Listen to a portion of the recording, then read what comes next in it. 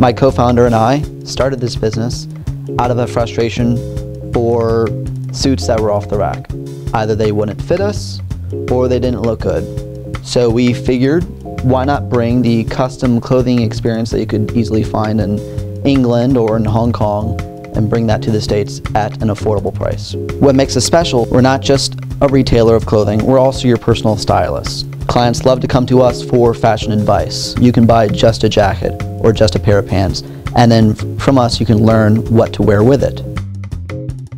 You can either call us or go to our website, browse our fabric selection, and order your next suit right then. My name is Ben McMillan, and this is Trio Custom Clothiers.